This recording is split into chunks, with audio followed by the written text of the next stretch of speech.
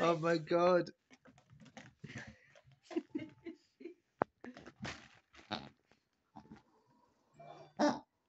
That's good boy.